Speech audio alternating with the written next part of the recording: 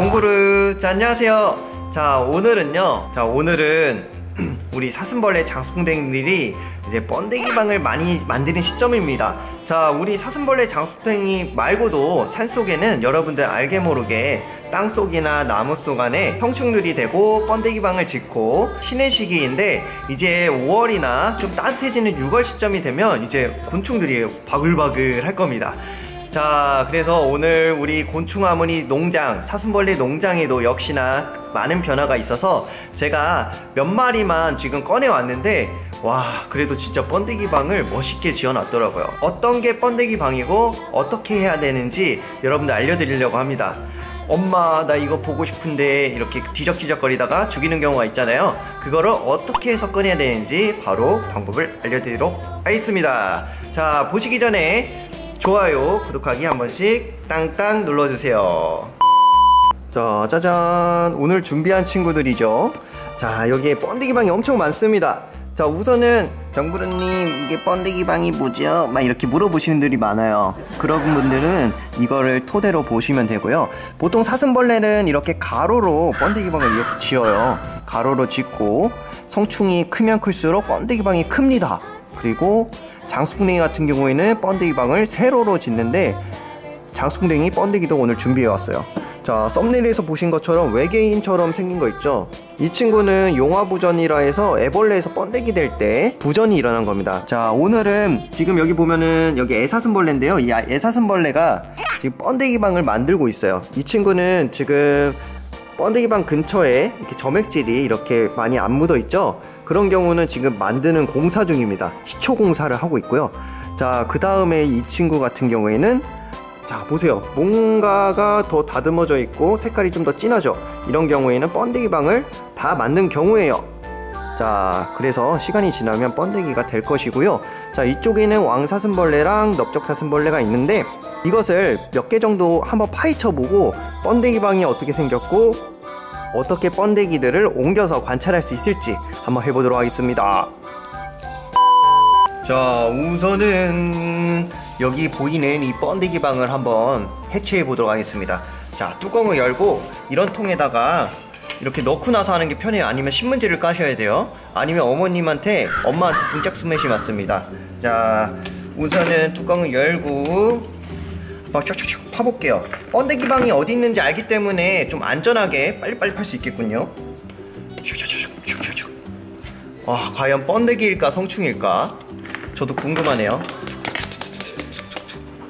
자 여기 보시면은 제가 여기까지 팠어요 벌써. 여기까지. 잘못하다가는 세게 하면 안에가 비어있기 때문에 번데기 방을 부시면서 애벌레나 유충이 다칠 수가 있기 때문에 여러분들 하실 때는 진짜 천천히 살살살살 하셔야 됩니다. 오 엄청나게 단단해졌어. 야 뚫려라. 오 야야야. 여기 검, 갈색깔 부분 나오죠? 우와. 이게 이걸 팔 때 잘못했다가는 1년, 1년간의 결실이 한 방에 무너집니다 여러분. 와, 와 진짜 단단해. 우와 뚫렸다 뚫렸다. 오 뚫렸어. 뚫렸어요 여러분. 뚫렸습니다. 자 뭐가 나올지. 오 얘는 오 성충 돼 있는 건가? 오 설마? 마사카? 오 성충이 되어 있는 것 같은데. 오 성충이다. 오 여러분. 안에 성충이 되어 있어요. 자 이거는 좀더 강력하게 제가 부셔서 빼보도록 하겠습니다. 오 수컷이다. 와 여러분 이거 보이세요? 저기 안에 팠더니 우와 작년만 해도 알이고 애벌레였던 사슴벌레가 톱밥을 먹고 성충이 되어 있는데 한번 빼도록 하겠습니다. 여러분 성충이 나왔습니다. 이야 넓적사슴벌레네요. 이야. 와 멋있는 넓적사슴벌레가 나왔어요. 짜잔. 이야. 우와 진짜 멋있다. 지금 성충이 된 지 별로 안 됐는지 얘가 배가 지금 빨개요. 신기하죠 여러분들? 그리고 이거는 번데기에서 성충될 때 벗은 탈피 껍질이죠. 으샤 신기하다. 하나 더 해볼까요 여러분? 하나 더 해볼게요. 자 여기 보면 이 친구도 번데기 방이 여기 있기 때문에 슉슉 빨리 하도록 하겠습니다.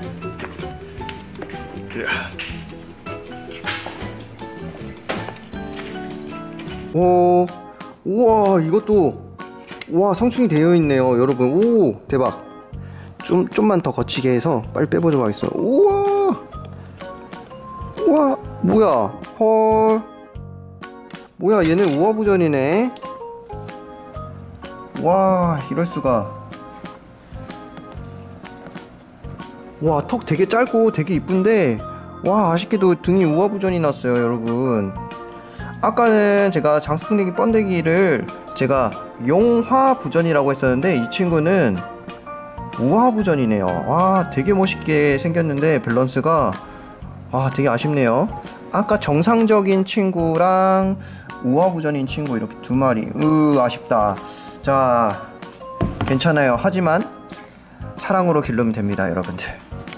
자 이렇게 봄이 됐다는 증거죠? 이렇게 사슴벌레들이 성충이 됐다는 것은 바로 봄이 됐다는 증거입니다. 번데기방을 보, 통 봄쯤에 짓기 때문이죠 그리고 여기 옆에 보이는 다른 친구들은요 지금 딱 봐도 다 애벌레예요. 다 꺼내기가 애매한데 한 친구만 꺼내서 사슴벌레가 전용 상태일 때 어떻게 생겼는지 그리고 번데기 방을 어떻게 만들어야 되는지도 알려드리도록 하겠습니다.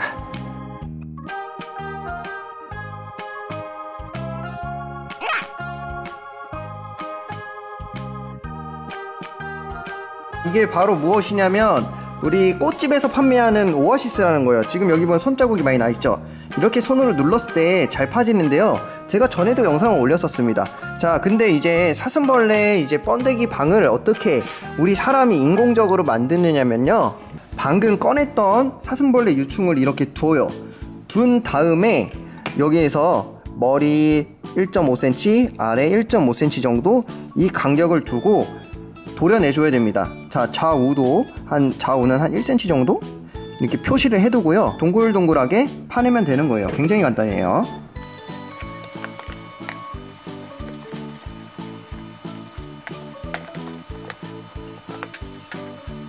와, 자 여러분들 이렇게 해주면은 끝이에요. 엄청 간단하지 않나요? 하지만 이제 오아시스에 물이 어느 정도 적절하게 수분이 보충되어 있어야 애벌레나 번데기에 있는 수분이 안 나와서 성충이 될 때 정상적으로 우화를 합니다. 아니면 너무 건조하게 되면 성충이 될 때 우화부전으로 죽어가는 확률이 굉장히 커지기 때문에 이렇게 항상 수분이 굉장히 중요하고요. 온도 같은 경우에는 그냥 실내 온도에 하시면 돼요. 자, 근데 제가 농장에서 가져온 것들이 있어요 이건 아까 보여드렸던 장송댕이 용화부전했던 번데기들인데 이 친구들은 가망이 없고요. 지금 여기 보면은 장수풍뎅이 번데기들 있죠? 이 친구들을 인공 번데기 방을 만들어 줄게요. 하지만 이것도 굉장히 간단한 방법이 있습니다. 바로 바로 이렇게 동그란 플라스틱 통 있잖아요. 이걸로 여기를 이렇게 꾹 눌러주는 거예요. 자 혼자 하기 힘들면은 부모님한테 도와달라고 하시면 돼요. 자, 저 한번 한 마리 한번 만들어 볼게요. 이야. 우와. 꾹을 꾹 눌러야 돼요.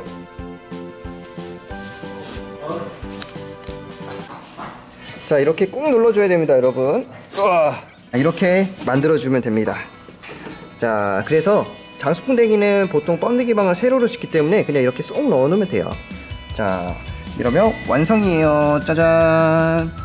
자 굉장히 간단하죠 이 상태로 번데기 같은 경우에는 2주 3주가 되면 성충이 되고 애벌레에서 번데기 되는 것도 2주 3주 정도 소요가 됩니다. 그리고 여러분들이 질문이 하도 많은 게 한 가지가 있는데요. 우리 사슴벌레나 장수풍뎅이들이 밥을 안 먹는다는 얘기가 있어요. 보통 사슴벌레 장수풍뎅이는 성충이 되었을 때 휴먼기라고 해서 종류에 따라 여기 보이는 것처럼 종류에 따라 휴먼기 기간이 다릅니다. 이 기간이 지나야 정상적으로 활동을 하고 온도가 어느 정도 높아야 젤리 먹고 짝짓기도 하고 산란도 한답니다. 여러분들 오늘 많은 꿀팁을 알려드렸는데 오늘은 여기까지 하고요.